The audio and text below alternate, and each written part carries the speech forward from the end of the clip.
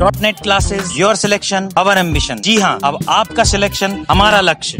तो आज ही सब्सक्राइब करें डॉट नेट क्लासेस को एवं लेटेस्ट अपडेट पाने के लिए घंटी के निशान को अवश्य दबाएँ। Welcome to Dot Net Classes Dot Net Classes में आपका स्वागत है। आज मैं कुछ और इम्पोर्टेंट ट्रिक्स आपको मैथ्स की लेके आया हूँ यहाँ पर ठीक है?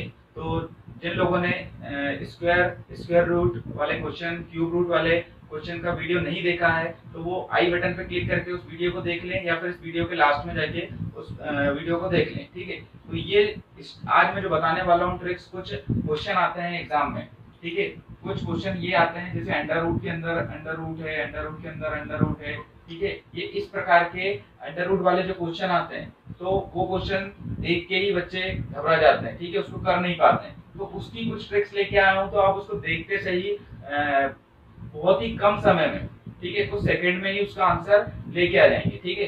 तो उस क्वेश्चन को देखने के लिए, आप लोग देख लीजिए कुछ इस टाइप के क्वेश्चन आते हैं पेपर में। ये एक पैटर्न है आपका। तो ये जो अंडर रूट वाला जो क्वेश्चन है, वो काफ़ी कठिन हो जाता है। कई बच्चों के लिए काफ़ी कठिन हो जाता है। देखते से ही बच्चे उस क्वेश्चन को छोड़ देते हैं। तो आप लोगों को ऐसा करना नहीं करना है। अगली बार से जब आपको पेपर में क्वेश्चन दिखेगा तो आप सबसे पहले इस क्वेश्चन को करेंगे, ठीक है? उसकी कुछ शानदार ट्रिक्स है, वो बताऊँगा मैं आज के वीडियो में। ठीक है? दूसरा, इसके अलावा कुछ क्वेश्चन आते हैं वर्ग या वर्गमूल की कोई संख्या दे दी जाती है और पूछा जाता है कि इस संख्या में क्या जोड़ें, ठीक है? क्या ऐड करें या क्या घटाएँ, ठीक है? क्या घटाएँ, क्या सब्सट्रैक्ट करें कि वो पूर्ण वर्ग संख्या बन जाए, ठीक है? पूर्ण वर्ग मतलब क्या होता है? जैसे कोई संख्या लिखी हुई है पच्चीस, ठीक है? ट्वेंटी फाइव ये पाँच का वर्ग होती है तो ये संख्या जो है पूर्ण वर्ग है, ठीक है? यदि कोई लिखी हुई है चौबीस तो ये पूर्ण वर्ग संख्या नहीं तो कुछ इस टाइप के क्वेश्चन है कि क्या जोड़े कि पूर्ण वर्ग बन जाए, क्या घटाएँ कि पूर्ण वर्ग बन जाए, या फिर तीसरा पैटर्न रहेगा इसमें कि किसी संख्या में किस संख्या का गुणा करें या भाग दें तो वह पूर्ण वर्ग संख्या बन जाए। ठीक है? पूर्ण वर्ग संख्या आप समझ गए हैं कि क्या होती है? और जो पूर्ण वर्ग नहीं है, वो समझ गए ठीक है? तो इस टाइप के पैटर्न आज के इस वीडियो में हम लोग देखने वाले हैं। ठीक है? तो पूरा वीडियो देखिएगा और वीडियो को इसको बिल्कुल नहीं करिएगा, ठीक है? बहुत शानदार ट्रिक बताने वाला हूँ मैं आपको, है ना? तो देखते हैं। यहाँ पर कुछ क्वेश्चन लिखे हुए हैं, ठीक है? क्वेश्चन देखिए, जैसे पहला क्वेश्चन लिखा हुआ है, ये under root six plus under root six plus under root six plus ठीक है? तो इस टाइप का जब भी आपके पास क्वेश्चन आता है, ये देखिए, तीनों में मैंने सिक्स सिक्स लिखा हूँ। तीनों क्वेश्चन में मैंने सिक्स सिक्स लिखा हूँ, मगर तीनों में कुछ ना कुछ डिफरेंस है। एक ही जैसा क्वेश्चन नहीं है वो। तीनों क्वेश्चन में कुछ ना कुछ डिफरेंस दिख रहा होगा आपको। जैसे पहले क्वेश्चन में दिख रहा है, यहाँ पर प्लस यहाँ पर प्लस यहाँ पर प्लस और ये कहाँ तक जा रहा है? इनफाइनाइट तक जा रहा है, ठीक है? दूसरे क्वेश्चन में देख रहे हैं आप कि सिक्स सिक्स तो लिखा हुआ है सेम है, बस बीच में प्लस नहीं है यहाँ पर, ठीक है? इसी प्रकार तीसरे क्वेश्चन में आप देख रहे हैं, ये दूसरे से सेम है, ठीक है? मगर यहाँ पर ये जहाँ तक जा रहा है, बस नहीं तक लिखा हुआ है इनफाइनाइट तक नहीं जा रहा तो तीनों क्वेश्चन अपन एक के बाद एक देखते हैं। सबसे पहला क्वेश्चन सबसे पहला क्वेश्चन देखिए। यहाँ पर अंडर रूट के अंदर जो भी संख्या लिखी रहेगी, पहली बात तो वो सेम लिखी रहेगी अलग अलग नहीं लिखी रहेगी। यदि सिक्स लिखा हुआ है, या कोई भी संख्या लिखी रहती है, जैसे सपोज़ सिक्स लिखा हुआ है यहाँ पर तो सिक्स का क्या करेंगे अपन? गुणनखंड बनाएँगे, ठीक है? सिक्स जो है, इसके कितने गुणनखंड बन सकते हैं? जैसे सबसे पहले तो बनेगा सिक्स इंटू वन ये एक बन जाएगा, ठीक है? टू इंटू थ्री ये गुणनखंड बन जाएगा, ठीक है? इसके अलावा और कोई बनेगा क्या? बस, ये तो गुणनखंड इसके बनेंगे। तो कोई भी संख्या दी रहेगी तो सबसे पहले उसका क्या करना है आपको? गुणनखंड बनाना है, ठीक है? अब जितने भी इसके गुणनखंड बनेंगे, जितने भी इसके गुणनखंड बनेंगे, उसमें से आपको वो गुणनखंड लेना है जो कि क्रमागत हो मतलब कंटिन्यूअस हो कंटिन्यूस देख रहे हैं आप, छह और एक कंटिन्यूअस है क्या? तो ये नहीं लेना है, दो और तीन कंटिन्यूअस है क्या? ये वाला लेना है आपको, ठीक है? ये वाला आपने गुणनखंड ले लिया। अब इसमें करना कुछ नहीं है आपको, इसमें जो सबसे बड़ी संख्या है ठीक है? दो और तीन में से बड़ी संख्या क्या है? तीन है। तो ये तीन जो है, इसका आंसर हो जाएगा। ठीक है? बिना किसी झंझट के आपने एक सेकंड में इसका आंसर निकाल दिया। गुणनखंड बना, ये तो मैंने आपको लिख के बता दिया। अभी आप मुखाग्र इसका गुणनखंड बनाएँगे, दो तीन छह होता है, और आपने देखा दो और तीन में से बड़ी संख्या कौन सी है? तीन। तो आपने इसको तीन लिख दिया। ठीक है? समझ में आया है क्वेश्चन समझ में आया तो जल्दी से लाइक कर दीजिए और थम्स अप कर दीजिए। ठीक है? दूसरा क्वेश्चन देखिए। दूसरे क्वेश्चन में क्या है? Under root six under root six infinite तक जा रहा है, बीच में कोई प्लस का साइन नहीं है। ठीक है? तो यदि इस प्रकार के क्वेश्चन आते हैं आपको, इस प्रकार के यदि क्वेश्चन आते हैं तो आपको कुछ नहीं करना है। जो अंडर रूट के अंदर लिखा हुआ है, जो अंडर रूट के अंदर लिखा हुआ है, वही आपका आंसर हो जाएगा। ठीक है? परेशान होने की ज़रूरत बिल्कुल नहीं है। अंडर रूट के अंदर जो चीज़ लिखी हुई है, वही आपका आंसर हो जाएगा। कितनी बार आ रहा है? क्या है, उससे आपको कोई मतलब नहीं, ठीक है? बस ध्यान ये रखना है कि यहाँ पर प्लस कुछ भी नहीं है। यहाँ पर प्लस था और यहाँ पर प्लस नहीं है, ठीक है? अब थर्ड क्वेश्चन देखते हैं, ठीक है? थर्ड क्वेश्चन देखते हैं। थर्ड क्वेश्चन में आप देख रहे हैं कि अंडर रूट है, बीच में प्लस नहीं है और ये इनफाइनाइट तक भी नहीं जा रहा है। दोनों क्वेश्चन में, ये तीनों क्वेश्चन में डिफरेंस है वो डिफरेंस आप देख के रखें। बस उस चीज़ को याद रखना है। बाकी क्वेश्चन तो आप देख रहे हैं कि बहुत ही सिंपल ही कुछ सेकंड में इसके आंसर निकल जा रहे हैं, ठीक है? तो अगला क्वेश्चन देखते हैं। अगला क्वेश्चन ये है, इसके अंदर जो भी संख्या लिखी रहेगी, वो आप लिख दो सबसे पहले तो ठीक है? जो संख्या लिखी हुई है, वो लिख दिया आपने। अब ये एक रफ वर्क कर लो यहाँ पर। साइड में एक रफ वर्क कर लो। टू की पावर ठीक है? टू की पावर ये कितनी बार आ रहा है वो देखिए। एक, दो, तीन, चार। चार बार आ रहा है तो टू की पावर फोर ठीक है? माइनस वन अपॉन टू की पावर जो ऊपर लिखा था, वही नीचे लिख दीजिए। बस ऊपर वाले में माइनस वन करना है, नीचे वाले में कुछ नहीं करना है, ठीक है? अब इसको सॉल्व कर लीजिए। टू की पावर फोर मतलब two into two into two into two, ठीक है? आपको जैसा सही लगे आप वैसा कर लीजिए। टू की पावर फोर है तो दो दूनी चार चार दूनी आठ आठ दूनी सोलह। ठीक है, सोलह हो गया माइनस वन ये भी दो की घात चार था, ये भी सोलह हो गया, ठीक है, अब सोलह में से एक जाएगा तो कितना बचेगा, पंद्रह तो पंद्रह बटे सोलह, ठीक है, ये जो आपने सिक्स लिखा था, इसकी पावर बन जाएगी पंद्रह बटे सोलह, बहुत ही सिंपल है, बस एक बार इसको समझ लीजिए, बस ये थोड़ा सा लंबा हो रहा है, मगर अगर आप इसको कोई दूसरी मेथड से करेंगे तो वो बहुत लंबा होगा और आंसर आप निकाल ही नहीं पाएँगे, ठीक है, बस ध्यान ये रखना है, अंदर जो लिखा हुआ है, वो लिखना है, उसी की पावर में आंसर आने वाला है। ऑप्शन में आपको ये लिखा हुआ है ए, बी में आपको यही लिखा रहेगा, सोलह बटे पंद्रह, ठीक है? सी में भी ऐसे ही कुछ लिखा रहेगा, चौदह बटे सोलह। इसी प्रकार से आपको ऑप्शन भी रहेंगे, परेशान होने की ज़रूरत नहीं है, ठीक है? तो एक बार फिर से देख लीजिए इसको। ये वाले क्वेश्चन को एक बार फिर से देख लीजिए। ये लिखा हुआ है यहाँ पर सिक्स तो सिक्स की पावर जो है, वो आएगी आपको क्या पावर आना है वो आपको कैलकुलेट करना है। तो वो अपन टू की पावर के फॉर्म में निकालेंगे इसको ठीक है तो टू की पावर पहले एक, दो, तीन, चार, जितनी बार पाँच बार होता था टू की पावर पाँच। ठीक है तो यहाँ पर ये चार आ गई माइनस वन करना है और टू की पावर फोर नीचे भी आएगी। ठीक है, अब टू की पावर फोर का मतलब क्या होता है? सोलह। ठीक है माइनस वन अपॉन सोलह। ये कितना हो जाएगा? पंद्रह बटे सोलह। ठीक है, यदि कोई डाउट है तो वीडियो को वापस से रिवाइज करके देख लीजिए। ठीक है आपको समझ में आ जाएगा। बहुत ही सिंपल है। तो इस टाइप के आप जब भी आपको क्वेश्चन देखेंगे पेपर में, आप कुछ ही सेकंड में उसको कर देंगे और बिल्कुल भी उसको स्किप नहीं करेंगे, ठीक है? तो ये आपके पैटर्न होगा यहाँ पर। इसी टाइप के क्वेश्चन आपको देखेंगे पेपर में। तो अब कुछ और टाइप के क्वेश्चन है। ये अलग टाइप के क्वेश्चन है, जैसे ये दिख रहा है। 187 में क्या घटाएँ कि पूर्ण वर्ग बन जाए, ठीक है? 3036 में क्या जोड़ें कि पूर्ण वर्ग बन जाए? टू वन एट सेवन में किसका गुणा करें या फिर किसका भाग करें कि वो पूर्ण वर्ग संख्या बन जाए, ठीक है? तो सबसे पहला अपन ये देखते हैं फोर्थ नंबर का क्वेश्चन कि इसमें से क्या घटाएँ? 187 में से क्या घटाएँ? ठीक है? जब भी ये पॉइंट्स लिख लीजिए, घटाएँ या जोड़ें। जब भी ये वाले क्वेश्चन आते हैं तो आपको भाग विधि लगानी है।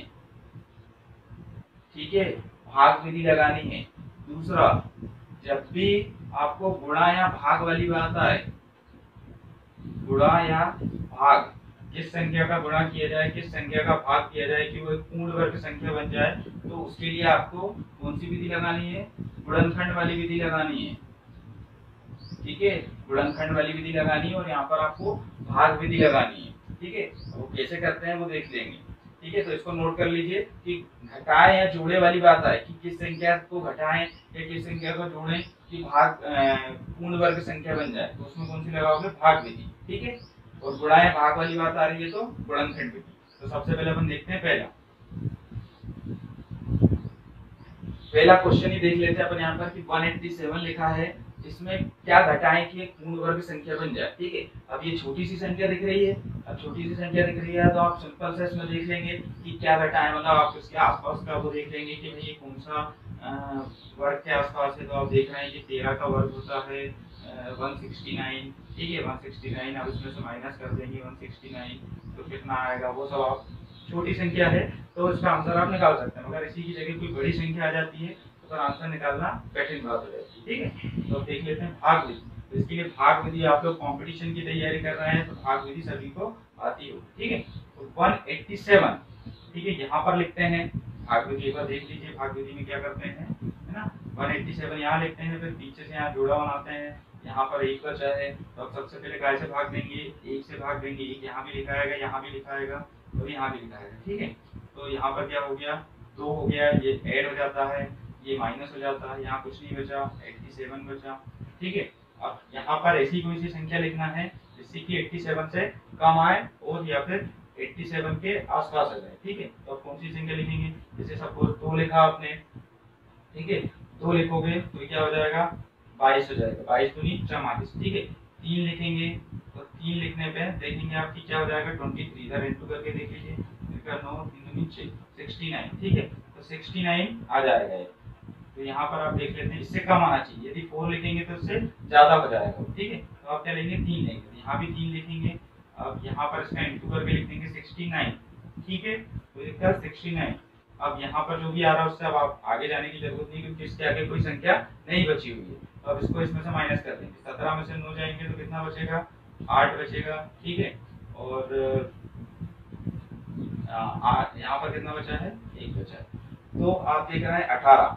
अठारह को यदि इसमें से माइनस कर दें वो संख्या क्या हो गई? अठारह होगी ठीक है? अठारह को इस संख्या में से माइनस कर दें। अठारह को माइनस करके अपन चेक भी कर लेते हैं यहाँ पर 187 लिखा हुआ है, इसमें से अठारह को माइनस करते हैं। अठारह को माइनस करते हैं तो यहाँ पर क्या है? सत्रह। सत्रह में से आठ जाएँगे तो क्या बचेगा? नौ बचेगा, ठीक है? अब यहाँ पर क्या है? सात। सात में से एक गया तो क्या बचे? छह। और यहाँ पर एक। तो ये 169 आ गया आपका, और ये आपको पता है कि ये पूर्ण वर्ग संख्या है, तेरह का वर्ग होता है।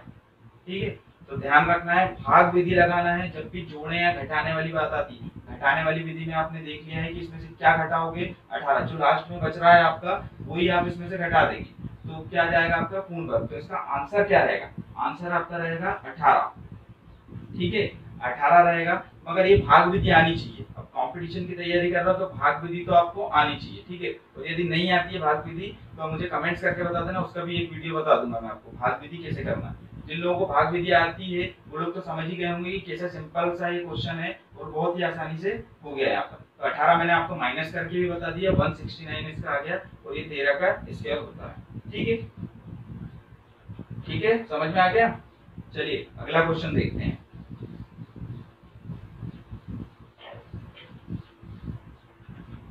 अगला क्वेश्चन क्या है? थ्री ज़ीरो थ्री सिक्स में क्या जोड़ें? ठीक है? थ्री ज़ीरो थ्री सिक्स में क्या जोड़ें कि वो एक पूर्ण वर्ग संख्या बन जाए? तो यहाँ पर आपको क्या करना है? वही भाग विधि लगाना है। अब भाग विधि में आपने ये जोड़ा होना है, ये जोड़ा होना है। ठीक है? अब यहाँ पर ऐसी कौन सी संख्या लें जिसका गुणा करने पे तीस के आसपास आ जाए? ठीक है? तो आप क्या लेंगे यहाँ पर? चार लेते हैं, चार सौ सोलह, पाँच लेते हैं, पच्चीस छह लेते हैं तो छत्तीस जाता है ठीक है? तो पाँच लेते हैं आप, पाँच यहाँ भी लेना पड़ेगा और पाँच यहाँ भी लेना पड़ेगा, ठीक है? पाँच वज़न पच्चीस, ठीक है? अब यहाँ पर इसको माइनस करेंगे तो क्या आ गया? फाइव आ गया। अब फाइव आ गया और यहाँ पर आपको थर्टी सिक्स लेना है। ये माइनस यहाँ से कैंसिल हो गया। यहाँ पर कितना आ गया? टेन आ गया, ठीक है? अब देखते हैं आपकी 500 के आसपास आना चाहिए। कोई भी संख्या आप लेते हैं कि जो 500 के आसपास आए। तो अब फाइव भी ले लेते हैं यहाँ पर। साइड में रफ गुणा करके देख लीजिए। वज़न पच्चीस ठीक है?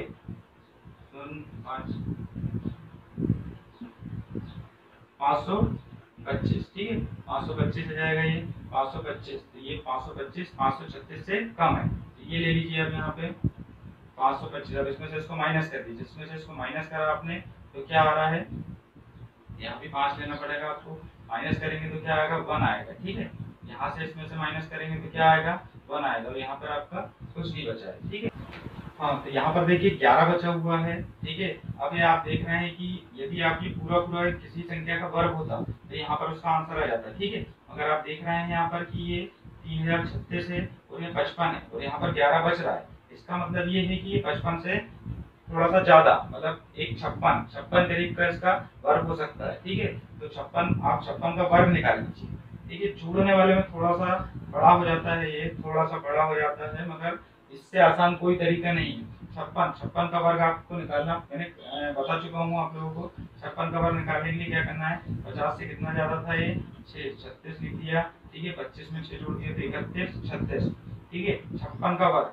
बहुत ही आसान है जिन लोगों ने स्क्वायर निकालने की ट्रिक नहीं देखी है, वो लोग देख लें, ठीक है, इससे पहले वाले वीडियो में स्क्वायर की ट्रिक्स भी बताई गई हैं, वो वीडियो ज़रूर देख। इकतीस छत्तीस आ गया, इसका छप्पन का वर्ग। अब ये पचपन से ज़्यादा का है। पचपन का ये कितना है? थ्री ज़ीरो थ्री सिक्स, ठीक है? तो डिफरेंस कितने का आ रहा है? सो का डिफरेंस आ रहा है। तो सो, यदि इस संख्या में मैं सो जोड़ लू, ठीक है? इस संख्या में मैं सो जोड़ लू तो ये क्या बन जाएगी? एक पूर्ण वर्ग संख्या बन जाएगी। तो इसका आंसर कितना आ जाएगा? सो हो जाएगा, ठीक है? हंड्रेड इसका आंसर आ जाएगा। अब आप लोगों को डाउट ये रहेगा कि सर मैंने छप्पन का ही वर्ग क्यों निकाला? भाई, पचपन तो दिख रहा है आपको कि पचपन से ज़्यादा है। पचपन से ज़्यादा है तो मैं, और मुझे जोड़ना है। यदि घटाने की बात आती तो मैं घटा देता इसमें। मुझे जोड़ना है तो जोड़ना है तो मैं छप्पन का वर्ग निकाल लिया मैंने। ये आ गया तीन हज़ार एक सौ छत्तीस, और इसमें से मैंने इसको माइनस करा तो ये आ गया सो। तो सो यदि संख्या में जोड़ दिया जाए, जोड़ दिया जाए तो इसका आंसर हो जाएगा, ठीक है? ये इसका आंसर नहीं है, पीछे वाले का आंसर है ना? यहाँ पर। ये सो, है ना? ये हो गया। अब समझ में आया ये चीज़ कि वर्ग घटाने या जोड़ने वाले, दोनों में आपको क्या करना है? भाग विधि का यूज़ करना है। भाग विधि बहुत ही सिंपल होती है है ना? कोई ज़्यादा टेंशन वाली बात नहीं है उसमें। अब बात आती है गुणा या भाग। दूसरा जो पैटर्न है अपना, गुणा या भाग। किस संख्या का गुणा या भाग किया जाए? ठीक है? तो वो एक पूर्ण वर्ग बन जाए। ये उन दोनों से सरल है, क्योंकि भाग विधि शायद कुछ लोगों को नहीं भी आती होगी, मगर गुणनखंड बनाते सभी लोगों को आता है। जैसे लिखा हुआ है one two one eight seven ठीक है? टू वन एट सेवन अब उसमें भाग देंगे। सबसे पहले कैसे भाग दोगे आप? दो से तो भाग नहीं जाएगा, इसमें तीन से भाग देंगे। तीन सत्ते इक्कीस। ठीक है? तीन दूनी छः फिर तीन नाम सत्ताईस। फिर तीन से भाग देंगे। तीन दूनी छः तीन चौको बारह। तीन तिरका नौ। फिर तीन से भाग देंगे। तीन अठे चौबीस। तीन एकम तीन, फिर तीन से भाग दो, तीन दूनी छः तीन सत्ते इक्कीस। ठीक है? फिर तीन से तीन नाम सत्ताईस। फिर तीन से जाएगा तीन तिरका नौ, और फिर तीन से जाएगा तीन एकम तीन। ठीक है? तो इस प्रकार आप लोग देख रहे हैं कि ये पूरा गुणनखंड आपका सॉल्व कर दिया मैंने कोई भी संख्या आएगी, यदि उसमें बोला है, गुणा करें कि भाग करें। ठीक है? किस संख्या से गुणा करें या भाग करें तो आपको ये गुणनखंड बनाना है इस प्रकार। आप देखेंगे दो दो के पेयर बना लेंगे। ठीक है दो दो के पेयर बनाते हैं, बचा क्या? तीन। ठीक है तो तीन इसका क्या हो जाएगा? आंसर हो जाएगा। आंसर इसका तीन हो जाएगा। ठीक है, तीन आंसर हो गया इसका। इसका मतलब ये है, यदि आपको क्वेश्चन में पूछा है कि किस संख्या का गुणा करें तो वो तीन ही एक ऐसी संख्या जिसका इसमें गुणा कर दोगे तो आपका वो पूर्ण वर्ग बन जाएगी। और यदि तीन का भाग भी दे दोगे, तीन का भाग भी दे दोगे यदि इसमें तो भी एक वो पूर्ण वर्ग संख्या बन जाएगी। ठीक है तो बस इसमें आपको सिर्फ़ एक ही स्टेप में आप दो क्वेश्चन कर सकते हो। इसमें दोनों के लिए अलग अलग करना है। घटाने वाला तो सिंपल है, जोड़ने वाले में आपको अगली संख्या का वर्ग निकाल के उसमें से माइनस करना है, ठीक है? तो ये आई होप आप लोगों को चीज़ें बहुत अच्छे से समझ में आई होंगी, ठीक है? और ये वाला जो पैटर्न मैंने आपको पहले ही बता चुका था, ये पैटर्न में भी आपको कोई दिक्कत नहीं जाएगी। दिक्कत जाती है या कोई डाउट है तो मुझे कमेंट्स करके बताएँ, ठीक है? तो वीडियो आप लोगों को कैसा लगा? ज़्यादा से ज़्यादा बच्चों को शेयर करें ठीक है? और जितना ज़्यादा शेयर करेंगे उतनी अच्छे ट्रिक्स लेके हम लोग आप, आप लोगों के लिए लेके आएँगे।